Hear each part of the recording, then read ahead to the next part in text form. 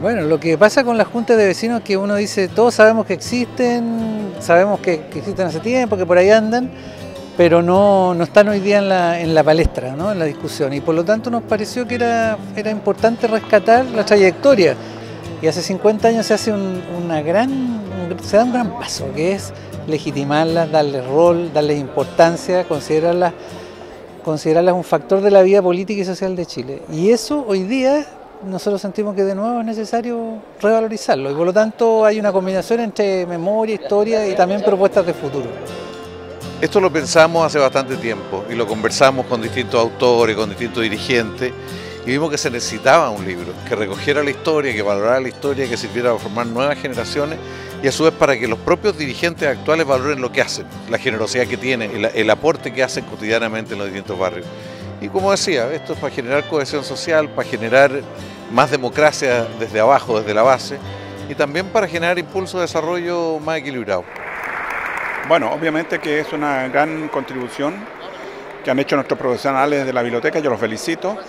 y el lanzamiento yo creo que ha sido un lanzamiento que mm, responde a la calidad, el contenido y yo diría el valor que tiene esta publicación, tal cual como lo dijeron los panelistas, para la memoria, para la historia, para aprender de, después de 50 años que se crearon las juntas de vecinos.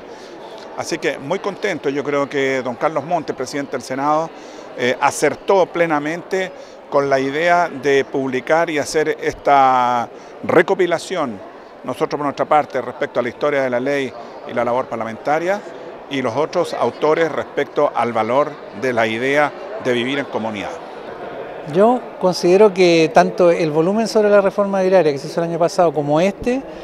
eh, revelan como, un, como una conexión eh, muy directa entre tanto el Senado por una parte como la Biblioteca del Congreso en un papel que, uno quisiera verlos permanentemente. O sea,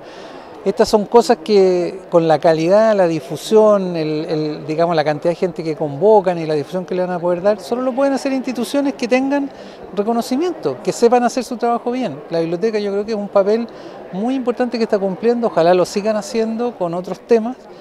Eh, yo lo que vi fue un trabajo extraordinariamente profesional, un equipo humano muy comprometido, eso me gustó mucho. Hay personas que piensan que la sociedad ya no necesita las organizaciones y sin embargo uno ve pero miles de situaciones en las cuales la acción colectiva es la que permite que las cosas cambien, que se aborden problemas, que se consigan políticas públicas efectivas. Y entonces ahora empieza un periodo de discusión, después de 50 años, de una nueva ley de Junta de Vecinos, que recupere el papel, seguramente no igual que antes. Entonces, lo que tiene que pasar ahora es que esto se entre a discusión, ya hay un proyecto presentado en el Parlamento, quizás va a haber mucho debate, pero que el debate tome importancia. Y para eso un libro como esto puede ayudar, es decir, que no es cualquier tema, es un tema relevante que forma parte de nuestra vida y que tenemos que saber resolver para el siglo XXI.